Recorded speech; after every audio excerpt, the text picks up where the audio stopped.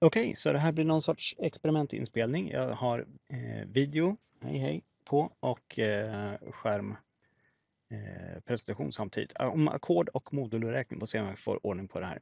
Eh, live-tagning, allt kan hända. Eh, klick på den då. Där. En gitarrhals ser ut så här. Jag tänker utgå från den för det är gitarr jag kan spela. Eh, det finns massor med matematiska spännande saker att säga om en gitarr alls. Eh, vi kan börja med att säga att eh, ta ett antal band. De här strecken kallas för band. Om vi tar band 0 till, jag tror att det är 9 markerat här, så är det likformigt med alla andra 9 band i rad du kan ta härifrån, från band 2 till 11 eller sådär. Ta det tillsammans med påståendet att band 0 till 12 här till det är en oktav och det är halva strängens längd. Så kan du använda det för att definiera var alla de här banden eh, ska sitta någonstans, eh, hur långa varje är. Det är kul. Ett par andra intressanta saker det är att band 0 till 7 ganska precis är en tredjedel av strängens längd. Det låter lite speciellt när man eh, kör sådana toner som ligger där. Eh, men inte precis eh, en tredjedel av strängens längd och det kallas för tempererad stämning när man liksom har eh, bara ungefär en tredjedel. Där. Eh, man kan säga samma sak om 0 till 5 här. Det är ganska nära. Ah, en fjärdedel ska det stå av strängens längd. Herregud, hur kan jag skriva sådana fel? Ah, ja. En fjärdedel ska det vara. Eh, toner på en gitarr ser ut så här. Man, eller, ja, om man tar den mörkaste strängen, eh, låga E eller e, E-strängen, e så går det upp på det här viset. Till en oktav upp. Det här är liksom samma ton, eh, tycker det mänskliga örat. Eh, men eh, en oktav upp. Och de heter så här som det står på skärmen. EF, FIS, G, GIS, A, ICE, H, C, CIS, D, DIS och E igen. spännande. Och sen fortsätter liksom om man skulle fortsätta upp här. Så de går runt, runt, runt som de här tonerna heter. Liksom. Ehm, och sen så kan man börja prata om stora A, lilla A, ettstrukna A och sånt där. Det gör man inte när man spelar gitarr. Man eh, vispar på och så kallar man det för A alltihopa. Ibland. Eh, kan vara kul att veta att om man spelar ackord så finns det också parallelltonarter till det här. Det kommer jag inte gå in på alls i det här, eh, den här presentationen, men jag säger det i alla fall. Om vi har C-dur så finns det en skala som hör till C-dur, den låter så här. Det är samma skala, samma toner som ingår i A-mollskalan.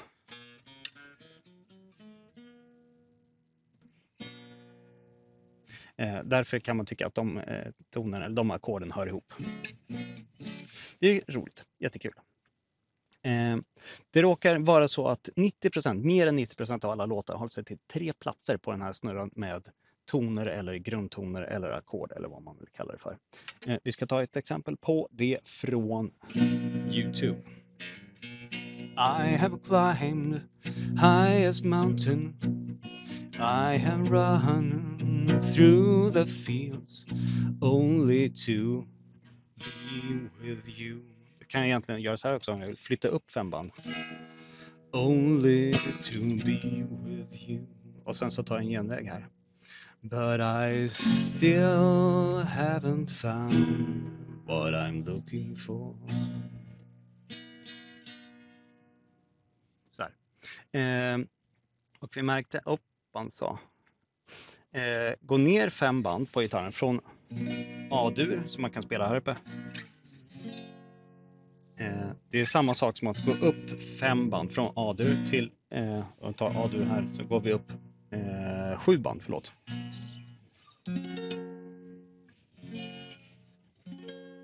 Ni hör kanske att det är typ samma ackord. Det är, det är samma ackord, bara spelat på olika sätt. Ja. Och det är fiffigt att hålla koll på liksom här att Eh, Eh, minus fem, att backa fem steg är samma sak som att gå plus fem steg på en sån här eh, gitarrhals. Eh, och för den att gå plus fem steg är samma sak som att backa sju. Varför det? Jo, men för att ibland så vill man transponera och byta tonart och sådär för att det fungerade inte riktigt bra att spela i A-dur. Nu ska du spela i G-dur istället. I have climbed highest mountain I have run through the fields only to be Only, kan man så spela där. Only to be with you. Nu kan jag inte gå neråt fem steg. Nu måste jag gå upp sju steg. But I still haven't found what I'm looking for. Sådär. Nu gick jag upp en oktav. Samma ackord, eh, bara låter lite ljusare. Liksom. Eh, så tänker jag att eh, finns med i ackordspel liksom, på, på en gitarr i alla fall. Men jag inser att det finns eh, saker som inte riktigt stämmer med det här, men jag struntar i det. Så om man har väldigt, eller om man har utbroderade ackord, lägger på extra toner och sånt där. Men jag tycker ändå att det finns, ligger mycket i det här. Den här snurran är ju, liksom, den finns ju. Det är så här jätte, jätte, jättemånga låtar fungerar. Om man analyserar låtar utifrån den här snurran så stämmer saker. Det är ett mönster som åter, återkommer hela tiden.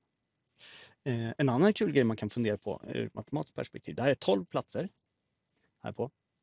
Eh, och det är fem steg man flyttar sig. 1, 2, 3, 4, 5, 1, 2, 3, 4, 5.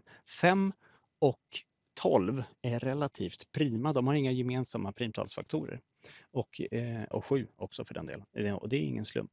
Eh, man kan liksom vandra runt den här, gå upp fem steg, gå fem steg hela tiden, chop, chop, chop, chop, chop. Och man kommer då besöka varenda plats på den här snurran innan man är tillbaka på stället man startade med. Det kan du fundera på en stund, eh, men nu får det vara bra för den här gången.